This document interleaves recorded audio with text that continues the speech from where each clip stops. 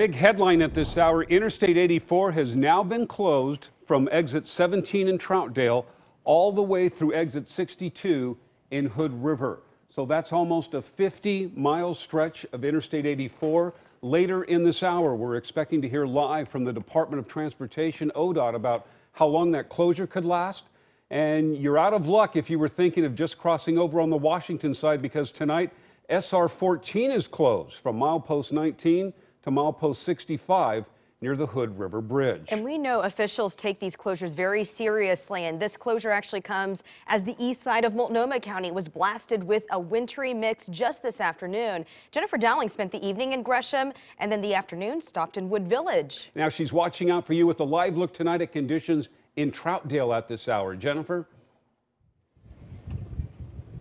Good evening and cold evening to you from out in Troutdale, where we are definitely experiencing blizzard-like conditions. I was holding my hand up so I could see my photographer cue me because it is blinding out here if you are not in a vehicle and you're just standing. You have ice pellets just blasting you in the face. I kind of want to show you a little bit about the landscape. We've got some loose snow here. Uh, it doesn't look like it's sticking, but underneath that snow, is ice. There's a lot of black ice. There's a lot of slippery conditions out here right now.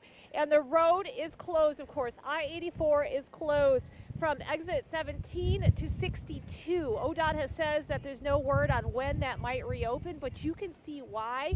I'm getting blown around out here. Visibility is low. It's tough for the plows and sand trucks to keep up. We've got a plow truck right by me in this parking lot trying to keep up with all the snow that's falling out here at this time and it just is really, really cold and really, really miserable. So uh, we talked to some drivers earlier that had gone out on the roads braving this stuff on the east side of the county, and boy, did they have a tough time getting around. There were a lot of people who were stuck. Take a listen to some of their experiences. Snow and ice sent tires and cars spinning at Northeast 238th Drive near Northeast Halsey this afternoon as drivers struggled to exit off I-84. It's pretty icy, pretty hard to drive. Juan Polito Jr. helped to pull this person out of an icy jam near Wood Village. I've definitely been stuck and some guy came and helped us out, so I like helping out. Just a couple blocks away, Northeast 238th Drive have been closed down due to hazardous conditions. Get some snow chains. Definitely get some snow chains. While drivers took their chances behind the wheel, others may do on foot. Really cold outside. I can't even walk. Samson Tesfaye said he couldn't drive in this weather and was surprised at what Mother Nature was throwing at the east side of Multnomah County. It's really like crazy. Oh, it's super cold out. It's, it hurts being outside just for a little while. The ice really hits you. In Gresham, parking lots were full of snow and shoppers stocking up on last minute items. We stocked up on some bread.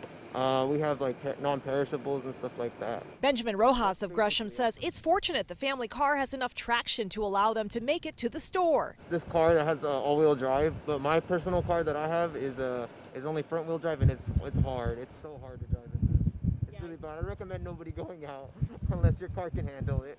After the supply run, he feels the best thing to do is hunker down and wait out the storm. I think we're just gonna just stay inside and just hang out with the family. That's about it.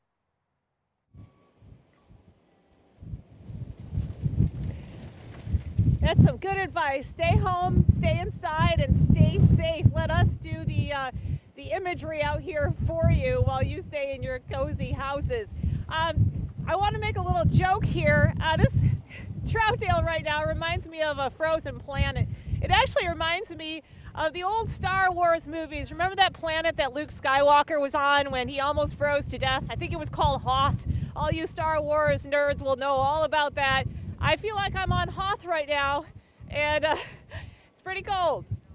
Back right. to you in the studio. Oh.